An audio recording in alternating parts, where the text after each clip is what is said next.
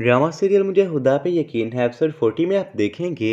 रिदा का रो रो कर बुरा हाल था, क्योंकि वो हमाद की बेवफाई को बर्दाश्त नहीं कर पा रही थी। उसे यकीन नहीं आ रहा था कि हमाद ने नाजरीन से शादी कर ली।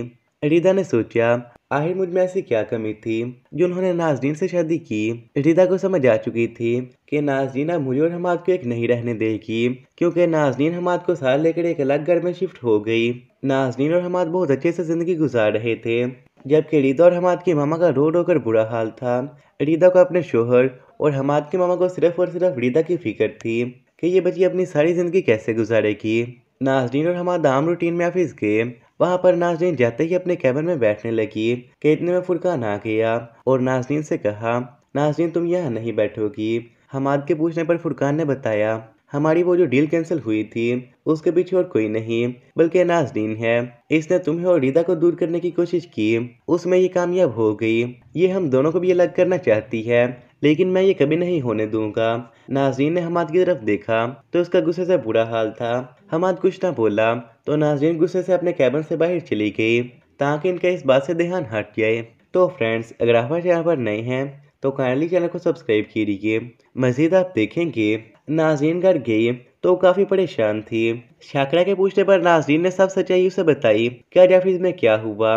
मैं तुम्हें बता रही हूँ, मैं उस फुरकान को नहीं छोड़ूँगी। इस पर शाकरा ने उसे समझाया। नाजो मैं तुम्हें कहती थी कि होश से काम लो, लेकिन तुम्हारी एक गलती से ये सब कुछ हमारे हाथ से चला जाएगा। इस पर नाजरीन ने कहा, अम्मा तुम फ़िक्र ना करो, अभी वो मुझे जानते नहीं। अभी उन्होंने मेरा सिर्फ़ एक रुख देखा। अब मैं उस फुरकान को बताऊँगी कि नाजरीन असल में क्या है। पहले तो मेरा ध्यान रीदा की तरफ़ था, जिस पर यह बच गया अब बारी इसकी है। दूसरी तरफ़ रीदा अपने कमरे से बाहर आई, ताकि बच्चों को देखे कि वो क्या कर रहे हैं। रीदा ने रामीन को बहुत ढूंढा, लेकिन वो उसे कहीं ना मिली। सब बहुत परेशान हो गए। रीदा ने आकर रामीन की दादी को बताया कि रामीन कहीं नहीं मिल रही रामीन के भाई ने उसे सारे घर में देखा, रीदा ने भी देखा, लेकिन रामीन का कुछ पता ना चला।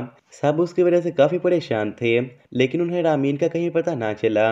रामीन की दादी ने हमाद को कॉल करनी चाहिए, ताकि वो रामीन का कहीं पता करे, लेकिन हमाद ने कॉल अटेंड ना की। रामीन की दादी ने फुरकान को कॉल की तो फुरकान फ़ौरन आ गया। उन्होंने रामीन को बहुत ढूंढा, लेकिन उसका कहीं पता ना चला।